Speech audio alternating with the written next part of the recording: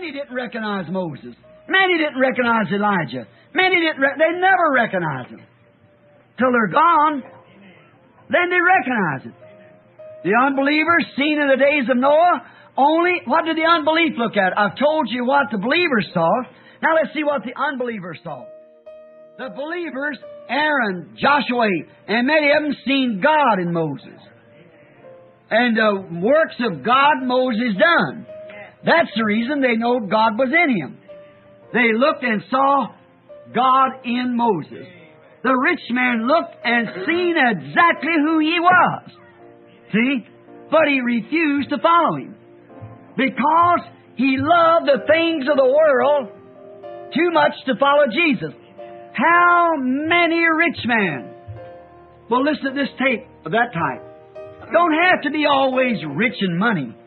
No, you can be rich in lust, rich in pleasures of this life.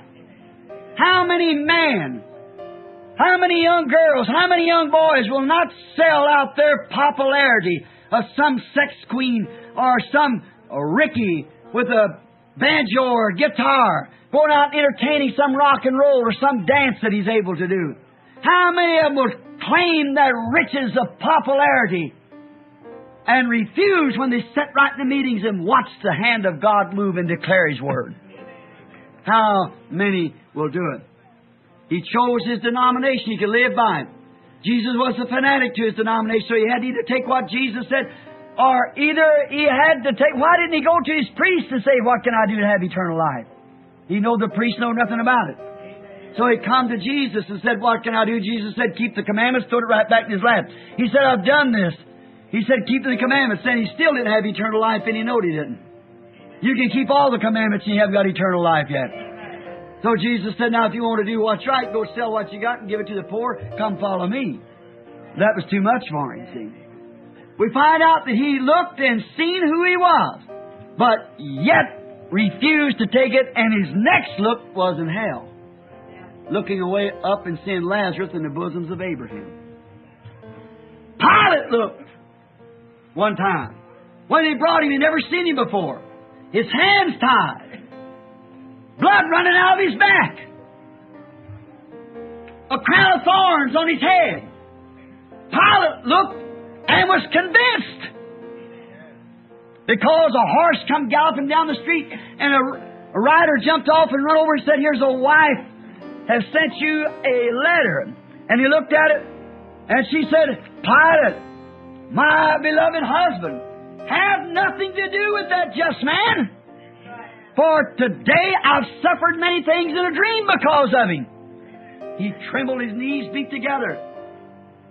And he said, If you are the Son of God, if you're the King, why don't you speak out? Are you the King of Israel? He said, You have said it. He said, Tell us truth. He said, To this end I was born. And Pilate marveled. He all everybody was begging and crying at his feet. He said, I have power to kill you, or I have power to release you. He said, You have power of nothing unless it be given to you of my Father. Sir, he was convinced that that was more than a man. He was thoroughly convinced that it was more than a man. Certainly he was. But what? His politics and popularity was too great. See, he turned him down. His popularity was too great. The politics, his position in life, was too great to accept this fanatic. Wonder how many Pilates will be listening to this. That your position in some denomination will be too great to accept the real Lord Jesus. Standing in the position that he is today. The Roman soldier at the cross looked on Jesus. After the earth had had a nervous prostration, shook to the rocks wrung out of the mountains, and the sun went out in the middle of the day and turned dark. The stars didn't come out to give its light. And the earth burst forth with rocks and an earthquake. And the zigzag lightning swept the skies and ripped the temple veil from the top to the bottom. And the people running and screaming, they didn't know what had taken place.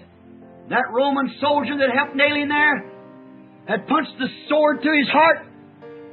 Then he looked, but it was too late. He looked and believed, but it was too late for him to believe. What he had done had sealed his doom. He had run the spear through the Savior's heart. It was too late. I wonder how many Romans today has done the same thing and will do the same thing. You might look someday, but it might look too late.